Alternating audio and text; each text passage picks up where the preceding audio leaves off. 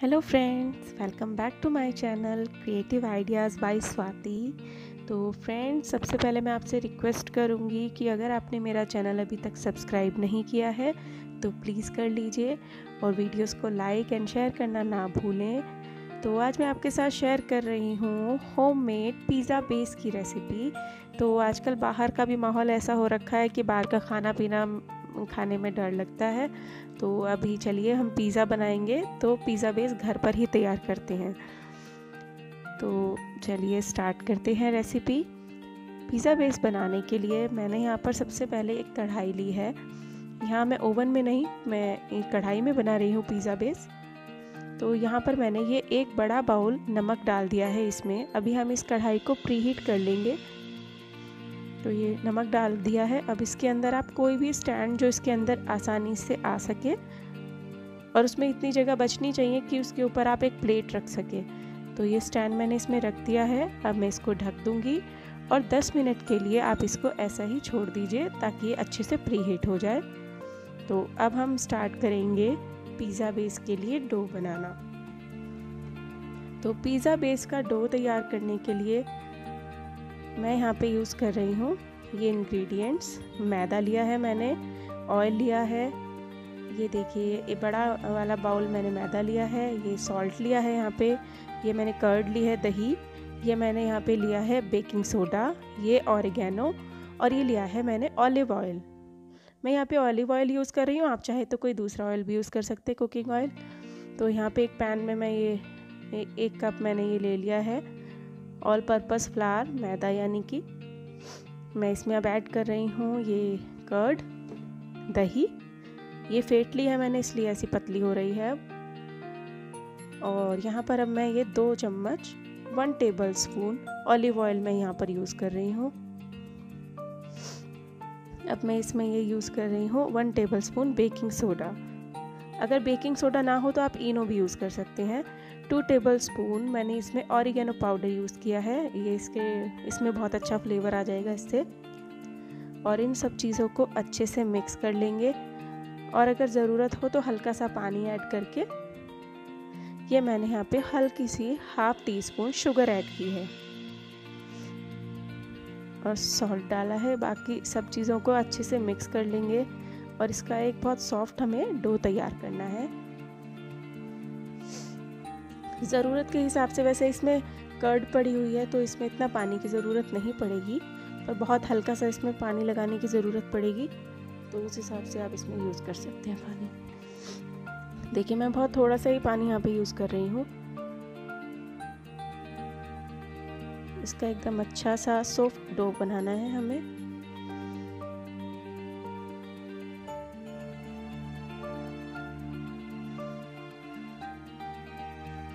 देखिए सब चीज़ों को अच्छे से मिक्स करके ये अच्छा सा डो बना लेंगे। अब इसमें मैं हल्का सा इसको और सॉफ्ट करने के लिए हल्का सा और ऑलिव ऑयल मैंने यहाँ पे यूज़ किया है। ये हमारा डो तैयार हो चुका है। अभी आप इसको कम से कम 20 मिनट के लिए आप इसको रख दीजिए एक साइड।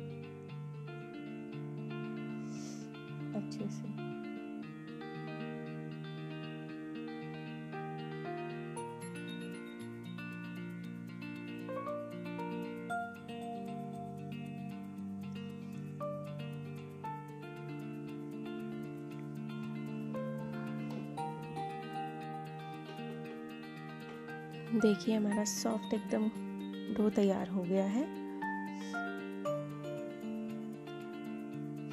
अभी इसको 20 मिनट के लिए कम से कम आप अलग रख दीजिए।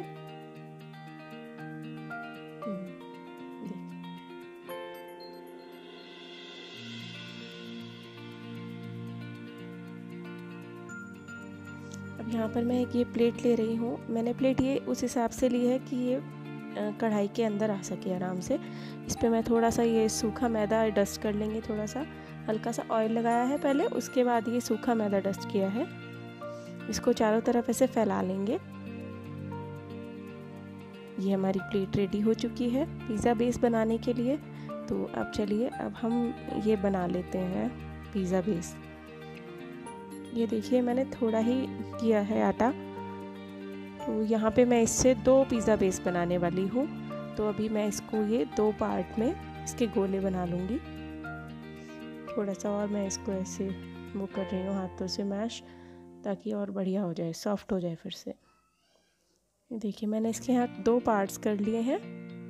क्योंकि पिज़्ज़ा बेस बहुत ज़्यादा पतला नहीं बनता है, थोड़ा मोटा ही बनता है तो इसलिए बड़ा गोला लिया है मैंने ये।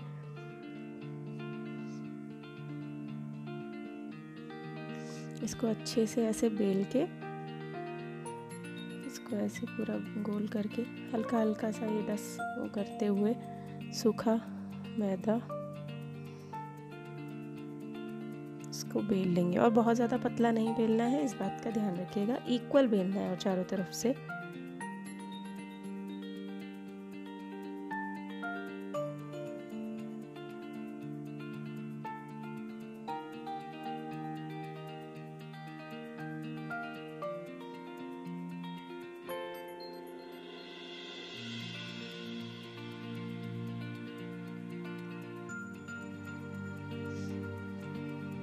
ये देखिए मैंने बेल लिया है।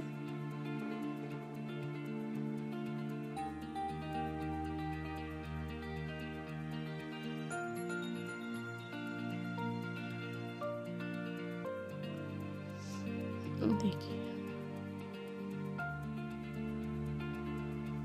चारों तरफ़ से इक्वली बेलना है इसको।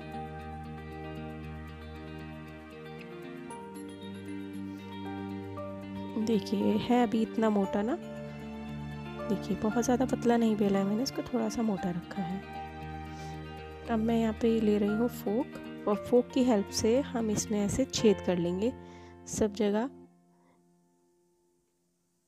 इससे क्या होगा, ये अंदर तक ये सिक जाएगा अच्छे से, और फूलेगा नहीं बीच में से, कहीं से भी ना। इसलिए हम इसमें चारों तरफ़ ऐसे छेद कर लेंगे। जब आप मार्केट से पिज़्ज़ा बेस ख़रीदते हैं तो उसमें भी आपने देखा होगा कि इस तरीके से उसमें छेद हुए रखते हैं। तो ये पूरे पिज़्ज़ा बेस पे हम ऐसे छेद बना लेंगे।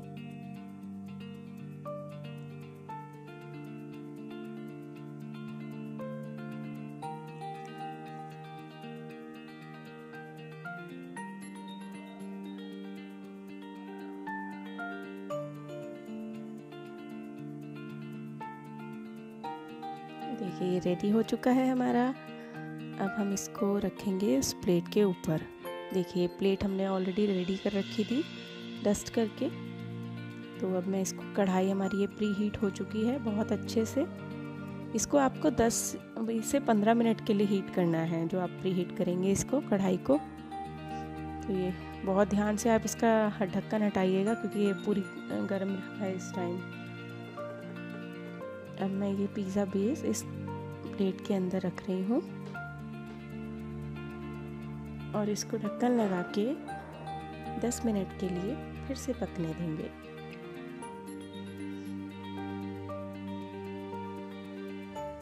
देखिए 10 मिनट बाद अब मैं इसको खोल रही हूँ। अगर आपको लगता है थोड़ा सा कच्चा लग रहा है तो आप इसको दो तीन मिनट के लिए और कर सकते हैं। देखिए, कितना अच्छा बना है। ये बिल्कुल ये फूल गया है। जैसा हमने ये बेला था, उसके हिसाब से देखिए, अब इसका साइज़ थोड़ा सा बढ़ गया है। हल्का हल्का फूल गया है ये। यहाँ पे आपने देखा होगा, अभी मैंने हल्का सा ये मैदा और डस्ट किया है और फिर ये दूसरा मैंने पिज़्ज़ा बेस रख दिया है बनने के लिए।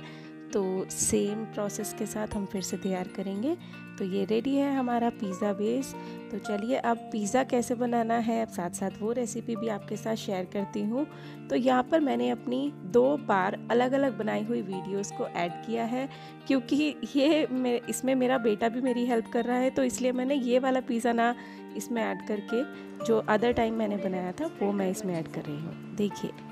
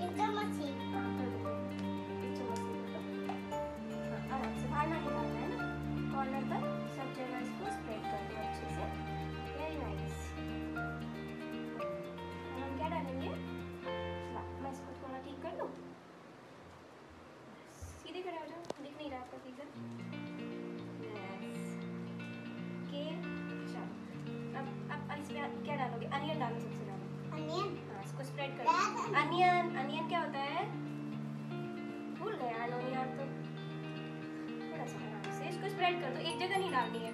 सब जगह इसको। बस बस। ये, सब जगह इसको।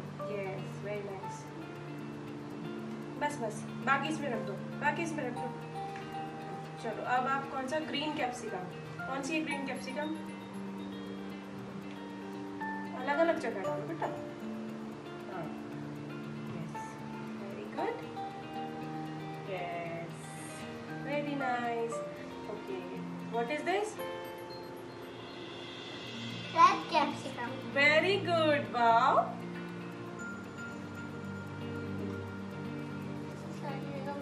yes और क्या रह गया हमारे पास इसमें ऑलिव्स हाँ. ब्लैक ऑलिव्स वन वन डालो. वन वन उठा के ऐसे अलग अलग जगह पे इसको स्प्रेड करो. यस थोड़ा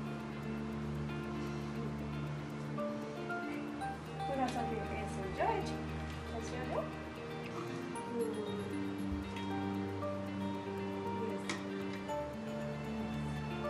एक इधर डाल पे खाली लग रहा है? यहाँ पे इसमें थोड़ी अनियन कम लगी अनियन डाल दें और? हाँ। ग्रीन कैप्सिकम भी डाल देते हैं। ठीक है? बस बस बस। ओके अब हमारा पिज्जा तैयार। पनीर पनीर डालो पनीर। फोर पीस लेना बस। वन एक यहाँ ग्राम अच्छा ठीक है कोई बात नहीं मैं डाल देती हूँ। चलो अब आप चीज़ इस पे चीज़ लगाएँगे। वाह चीज़ से तो टेस्ट आता है इसका। हाँ इसको ऐसे लो थोड़ी थोड़ी और इसको ऐसे स्प्रेड करना है पूरा। यस और लो अच्छे से स्प्रेड करेंगे।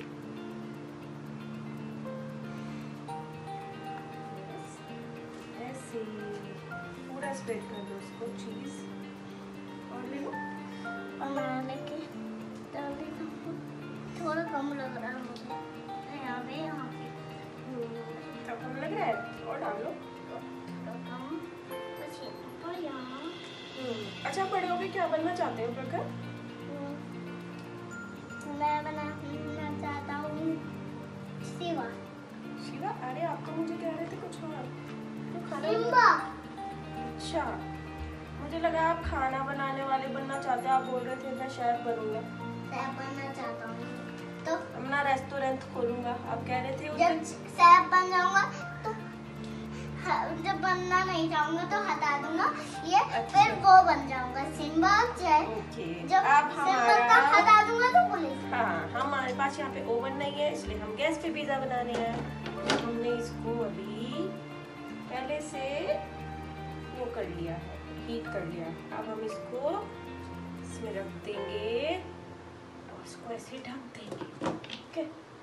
चलो, आपका काम कंप्लीट तो फ्रेंड्स देखिए रेडी है हमारा yummy yummy pizza homemade pizza with homemade pizza base तो इस पर मैंने डाला है ऊपर से oregano and sauce tomato sauce तो इन्जॉय कीजिए। वीडियो पसंद आए तो please like share and comment ज़रूर कीजिए। थैंक्स फॉर वॉचिंग मिलते हैं नेक्स्ट वीडियो में। Bye bye